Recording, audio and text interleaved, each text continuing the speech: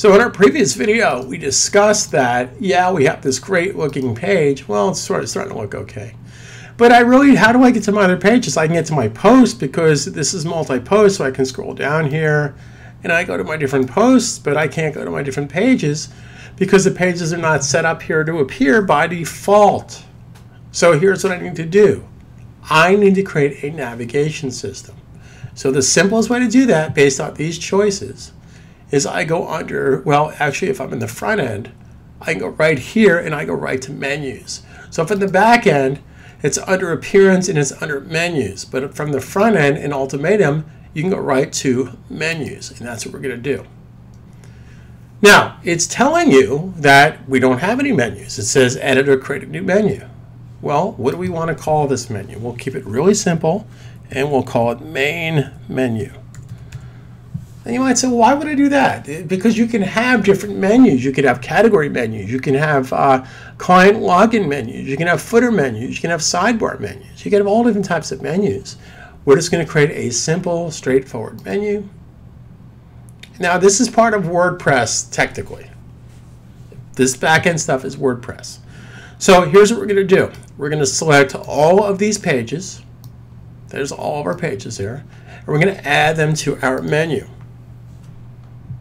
Now, when I added that to the menu, notice over here, and this was created from the WP example in a previous video. Notice that I have child and grandchild, but that's not going to appear automatically that way in your menu. We have to do a little bit of tweaking here.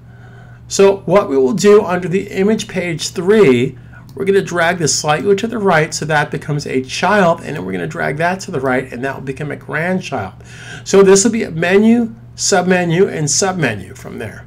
Now, what we can do for future building, first of all, we can make this part of our Ultimatum default menu, and we can add any new pages automatically to the menu.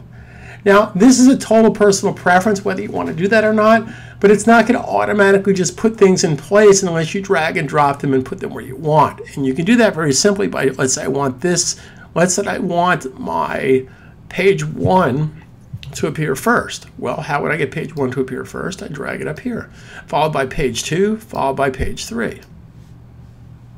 Let's drag that to the top. Now, I don't want to make that a sub-menu. I just want to drag that to the left. So I save my menu. Okay, so now if I go to view my site, you will see I now have really nice looking links. Not to be confused with really nice looking sausages. Ha! Sausages. He's got a million of them. All right. So this is a sub menu here. So if I click sub menu, there's my child and there's my grandfather page. Simple as pie. Now, this is set up by default using Bootstrap inversion. Now you're saying Bootstrap inversion. What is this guy talking about? Let me share with you this information is coming from. So how do I get into my layout? Based on these choices, edit layout. Then based on these choices, keep in mind that that was part of my header. So we haven't talked about this yet. We're going to go to Edit Layout, and that's where my Ultimatum menu is kept. And the Ultimatum menu has all different types of built-in menus. This is the Bootstrap menu. I can have an Ultimatum menu, I can have a mobile menu, I can have a side menu. So this is something we'll talk about a little in subsequent videos, but again, this is something you want to spend time in your practice with. Now, this is a black Ultimatum menu inversion. So as an example, if I go back to my site, you'll see that it's black and white, white text on black. In the printing world, that's known as knockout type, as an example. So I'm going to go back and make this, uh, it's the bootstrap menu, but I don't want this to be inverted. I want to make this default, and I come down here and I hit save. I come up here and save the layout. Now, since I already have a front end of this, I can just hit the refresh page. And to me, that doesn't look as, as hip. Okay, I kind of like the inversion, so I'm going to go back here. I'm going to change that back to inverse, which is the opposite. Come down here, save the changes, save the layout, and refresh the page. Okay, so we've learned so far how to create and edit an existing layout, and more importantly, not to reinvent the wheel, how to clone an existing layout and then just change the content on that layout. So let's put this into practical use. If I select page one, it's going to take us to the page with slider one on it. And it's going to take us to that page, which was block quote.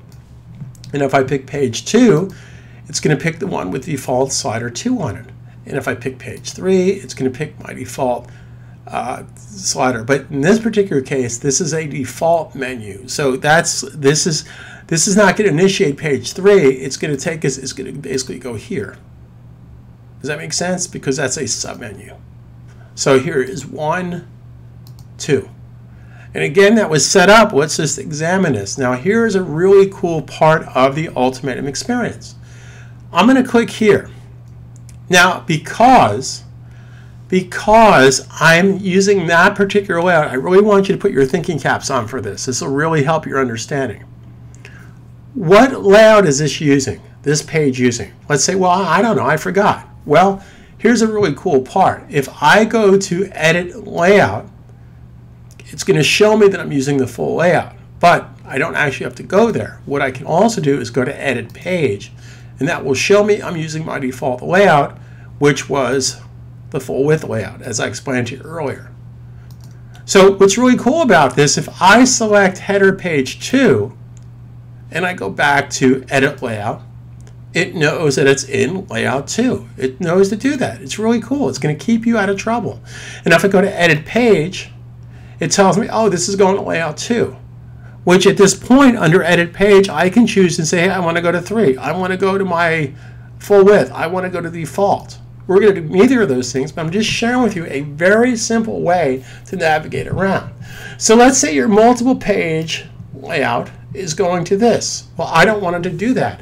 In fact, I don't want to see the slider on any of the pages that have to do with multiple page. So how can I fix that? Well, what I would need to do is go back to edit layout, go back to layout screen, and we're going to clone this layout and we're going to call it something very simple. Okay, we're going to call it no slider. Now, no slider is literally going to have no slider, which means I'm going to take this information and I'm going to delete the entire row because I don't need the row because there's no slider. So I'm going to delete the entire row, hit save layout, and back to layout. Well, in this particular case, I'm going to go here. Here's, here's the original menu we had before. I'm going to close that window. Okay, so all I have to do to assign that particular multiple page to that particular layout is go back to visit site, click the multiple page paragraph page, and again, based on these choices, I don't want to see the slideshow for this page. Okay, now again, just a few seconds ago, we created a new layout that does not have a slider. So I can simply go to edit page, and based on these choices, no slider. How cool is that? Update. Now, if I want to be really lazy here, I just want to see the page. So I simply hit preview changes. And there is the page with no slider. Pretty cool stuff. I think that's really cool. Now in the next video, I'm going to share with you how to do a simple default layout with multiple columns. So stay tuned.